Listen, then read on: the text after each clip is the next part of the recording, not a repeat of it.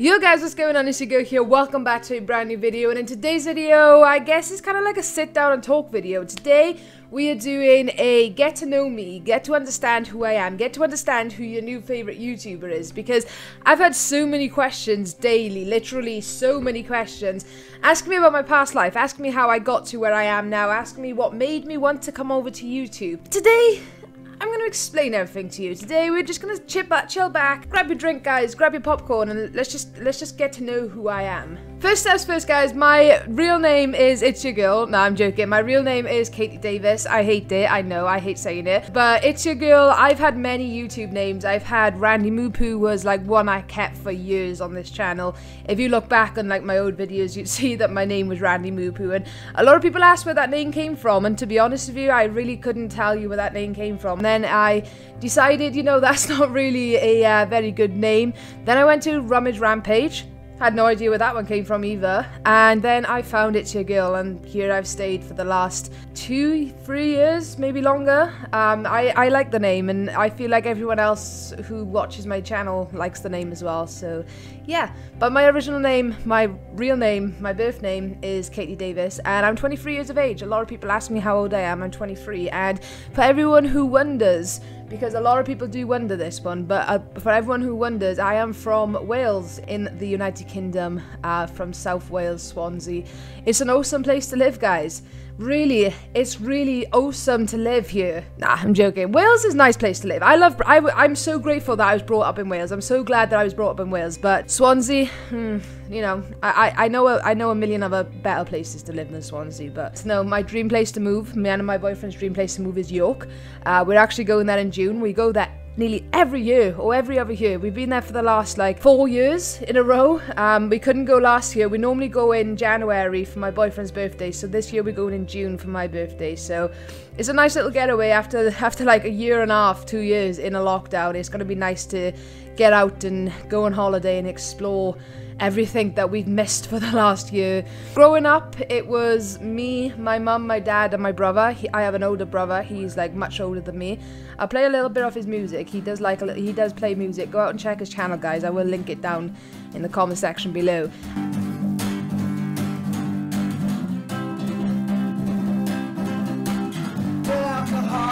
And I'm grateful to my dad and showing me who Pink Floyd is. Uh, Stone Roses, you know, my dad was a huge Oasis fan as well, guys. So my dad really inspired me with a lot of music, and the music that I react to, he inspires me to react to these music. My mum, she brought me up listening to, you know, Pink uh, Avril Lavigne and all this kind of stuff, and, and Eminem. But we'll get into the Eminem sto- story in a minute. But they've honestly stuck by me throughout all my YouTube career. Like from from a child to where I am now, they've stuck by me every single way. I will tell you now, my mum and my dad, they were they they grew up punks. They they my dad has always been a skinhead.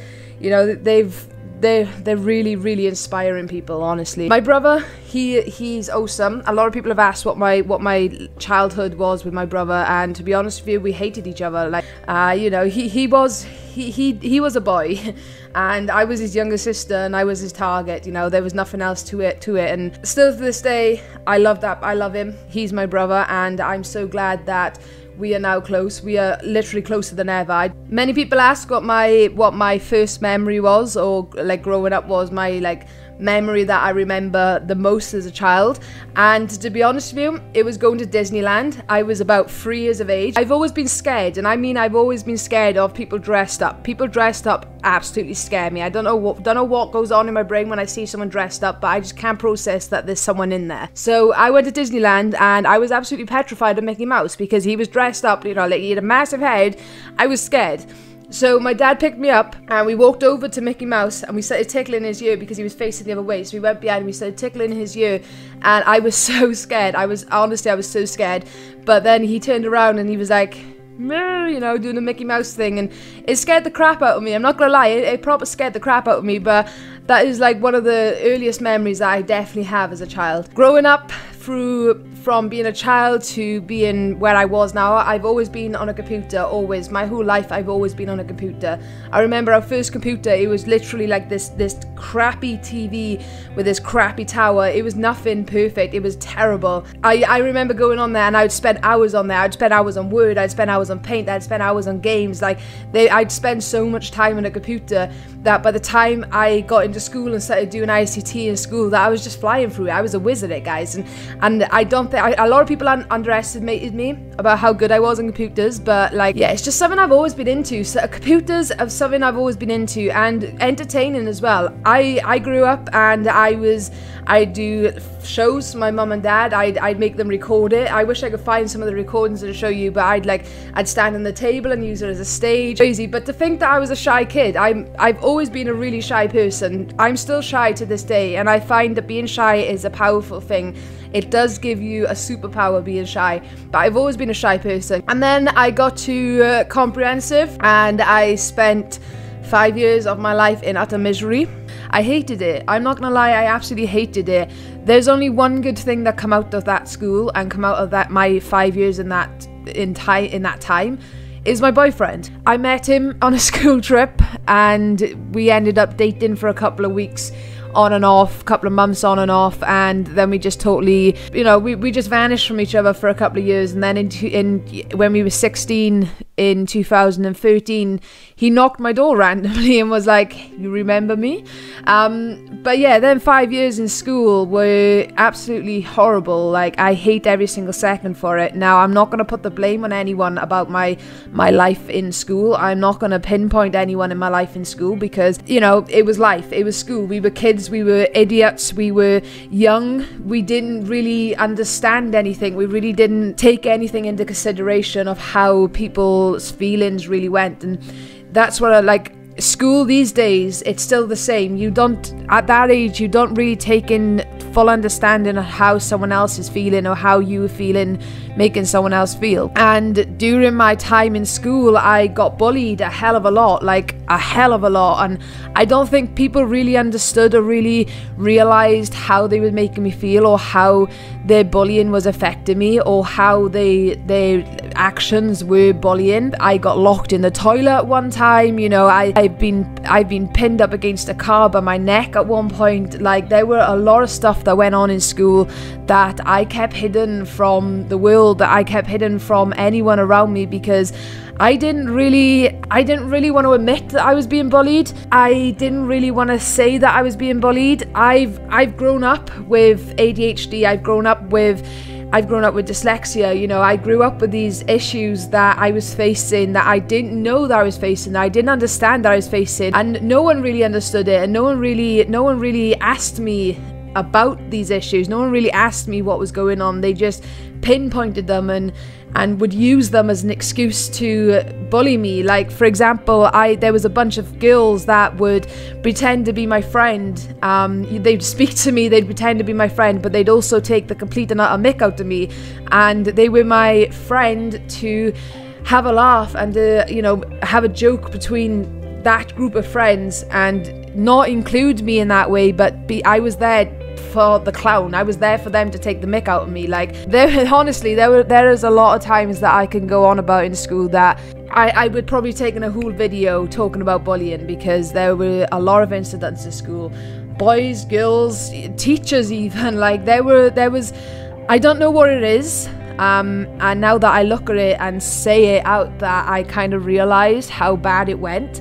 I didn't want to go to school. I, I missed a lot of school. I missed a lot of education because of it. I I really didn't want to be there and yeah i didn't make it easy for myself i had adhd like i my going through my brain was like a million it was like a fire honestly it was like a fire that i couldn't put out and still to this day i suffer with it and I, it doesn't come out in a hyperactive way anymore, which I'm glad. It comes out in different ways, but during school, I was so hyper. During school, I was like, so, I was such a distraction. And yeah, I'll admit that I probably caused half of why I was being bullied. Like, I didn't make it easy for myself at all, but when you're going through that and you don't understand what you're going through in your head, no matter going through it with everyone else, like it, it I don't know, it's kind of confusing in a way to everyone if you ever do watch this video, one day you discover that I've got this many subscribers on YouTube and that dream that you told me that I'd never get have actually come true. One day when you look at this video and you see this part of the video, I just want you to know, I just want to say I, I don't hold grudges. I do not hold grudges. No, I don't like you for the way that you treated me. I'll say hi to you when you pass me in the street, but I'm not going to be your friend. See you doing well and now they want to be a part of it. Then now they want to wish you a well done when they're the persons who told you that you couldn't get there. And I just want to say one thing to you all that if you are watching this, I just want to say this one thing that Thank you. You have made me who I am. You have made me realize that people are so two-faced, that you've made me realize that life is life treats you the way it does to make you who you are. If you guys didn't if you guys didn't treat me like that in school, if you guys didn't put me through 5 years of pure hell, I wouldn't be the person I am today. I wouldn't be I honestly wouldn't be the person I am today. Yes, I suffer with anxiety. Yes, when I see you out in the street, I want to run the other way because not because I'm scared of you, but because of the way that you treated me in school. Now look at hate comments and they don't hurt me. I now have people judging me and it doesn't hurt me. I now have people saying silly remarks at me and it doesn't hurt me. And that's because you lot taught me that people are going to be negative no matter what you do. How old was I when I discovered YouTube? I think I must have been about 13. 12, 13, something like that, and I discovered YouTube. There was there was no YouTubers, okay? There was no like big YouTubers. There was no PewDiePie. There was no FaZe Clan. There was no Mr. Beast. There was literally like people uploading videos to YouTube. There was no career in it. There was nothing in YouTube. It was just a platform to upload videos. But I remember seeing it, I remember finding it, and I remember dreaming that I could do this. I, I remember wanting to to get a record to get a recorder, anything to record, and just start uploading videos. Back then, I didn't have a phone. Like there was no phones like like there are now. There was nothing like like this back then. It was literally like this little Nokia thing or BlackBerry. Like the differences between then and now are massive, are huge. And I remember having the crappiest PC, and I re I remember having the crappiest of phones and looking at these and looking at YouTube and thinking one day maybe one day I'll be able to upload these videos to YouTube. And then I I made an account and I started uploading videos to YouTube. I didn't get anywhere with it, honestly. I didn't get I think I had like one one subscriber and to be honest with you, I think that was myself.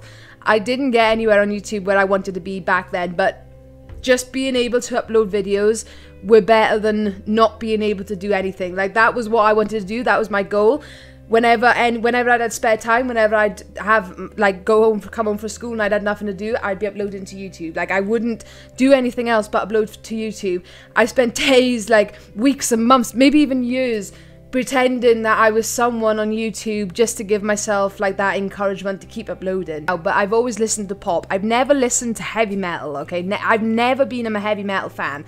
I've never listened to rock. I've never listened to that kind of thing. I am literally, when I say that this is my first time hearing these bands, it is generally my first time hearing these bands. There's a difference between me and other creators on YouTube when it comes to reactions. I do it because I have a passion for it. I do it because I want to do it. I do it because this is what I want in life, okay? This is, I put my everything. I've lost out in so much because of YouTube that this is my everything, okay?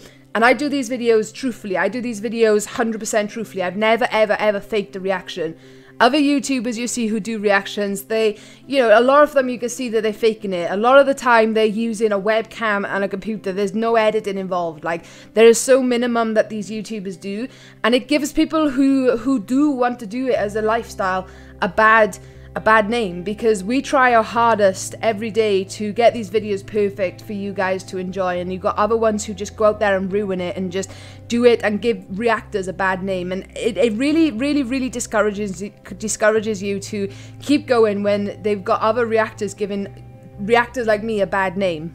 But one thing I will say is that I grew up listening to Eminem. Eminem has has always been an inspiration in my life I remember being, I think I was about seven, maybe about young, about six, seven, eight, between six and eight.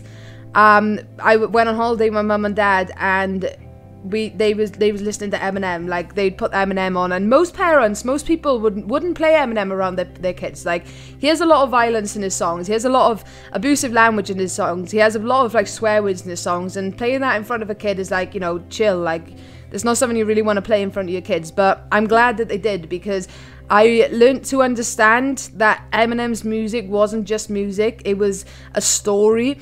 And I've got to say this if it wasn't for Eminem's song, then I probably wouldn't have got so far in school. I, probably wouldn't have kept going in school. Eminem's song got me through like my worst of times. I, when I was uploading these videos, like at the at the time, I didn't care at the time I really didn't care what people thought because my passion was was uploading videos. My passion was editing. My passion was making these videos. And I really didn't care at the time but when I uploaded them and once people started seeing them I would get I would get the the crap ripped. I would I'd be ripped apart seriously. Like people would torment me. People would take the mick out of me. I'd have so much so much like abuse at me for making these videos, but I didn't care. Like inside I did. Inside like every comment that people made would hurt. Every comment that people made did hurt me. But now I think of it, I'm glad that I didn't let it affect me because if I did let it affect me, like I wouldn't be here right now. If I did let it affect me, I wouldn't be at 15,000 subscribers. I wouldn't be uploading to YouTube making this my dream. I wouldn't be able to say that I've officially become a full-time YouTuber. Like and I think what really made really really made people like question me was was when people had asked me what do you want to do when you're older? What what's your dream job? And I'd say I want to be a YouTuber and they'd be like you can't do that. That's not not a job. And I was like one day one day I will make it a job. One day I will be uploading to YouTube. Then once I left school school, 16, I, yeah, 16 you leave school, I disconnected myself from like everyone from school. I didn't want to know anyone from school. I just wanted to start a new chapter in my life and start a new fresh me to be honest with you i went to college and unfortunately i had to drop out of college because i was suffering with a chronic illness that I didn't even know I had at the time and I'll get onto that in a moment but I dropping I was losing a lot of education because I was missing so many days I was getting ill and I couldn't didn't know why so I couldn't go into college I you know there was a lot of reasons why I had to drop out of college and I hated it I was so behind but I enjoyed the course. The course was creative media, and obviously, like this, is that's what I wanted to do. Like I wanted to be a producer. Like I wanted, I wanted to make make films. So college, I had to go. Unfortunately, I had to drop out. And but during college, that's when I then got back to with my boyfriend. Um, he knocked my door one night. One night I was just chilling in my room, and he knocked the door, and I answered it, and he was like, "Do you want to come out for a couple of hours?" so yeah, that's when we got together, and then so yeah, um, that brings me to now, I guess. Um, for the past seven years, I've been uploading to YouTube like nearly every day as long as I can. I did have a break for about a year, um, but I've been upload uploading to YouTube as much as I can. I started off on Minecraft and I want to give a quick shout out to Zombifier. Now, if you have watched my videos from my old videos, you'd know who Zombifier is. And we was grinding every day. Like, we were getting nowhere. Like, we'd get like a couple of views. We were getting one or two subscribers a week. Like, we were get we weren't getting far, but the grind that we put into these videos were absolutely insane. Then I stopped doing Minecraft. I, I gave up on YouTube for about a couple of months. Like I, I, I wasn't I was grinding so hard that I just I just stopped. I, I couldn't do it anymore. And then I started urban exploring, so I was making videos with that. I was making little vlogs here and there, and then come my reactions. We got put into a lockdown in 2000, well, the end of 2019, the beginning of 2020, and I started making reactions, and my channel's just blown up from here, and here I am now. That that's my life. I'm not sure what else you want to know. I've tried to answer everyone's questions in one little story. I hope I've done a good job at it, but that, that's literally my life. This is literally who I am. And when I say I don't fake a reaction, I generally don't because my passion is YouTube. My goal in life is to be able to make a successful career on YouTube. My goal in life and my passion in life is to make videos, upload videos, entertain people. I'm a shy person.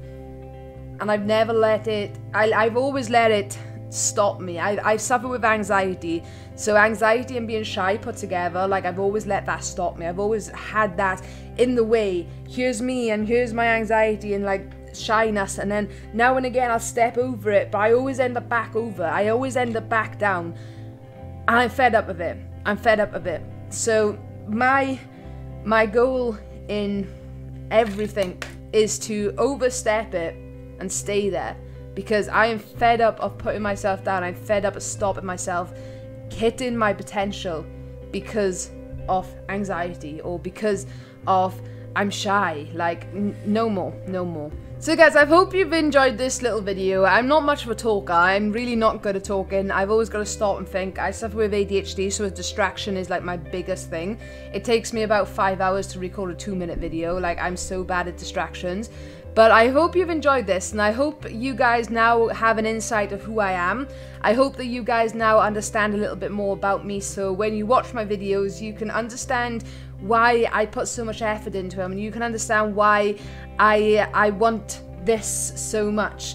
It's not because I don't want to go out and get a job. I've had many jobs in my life. And if I have bored you in this video, I'm sorry, but I hope I have entertained you in some way or another. And I hope now that you all understand who I am, that we can all live as a happy YouTube family. How about that?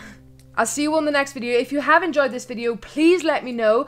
I want to do more videos like this. I want to sit down and chat with you guys. I want to give you guys little story times here and there. So let me know what other story times you want to let me know, want, want me to do. I do have one planned to do about paranormal because before I move this move from this house, I have to tell you a big story about this house. And I'm not telling you until I know that you guys are ready for it and I know that you guys are wanting to see it. So uh, let's get into this. guys, I'll see you. Guys, I'll see you in the next video. It's been your girl and uh, I'm out of here. Like, literally, I'm out of here. Bye, guys.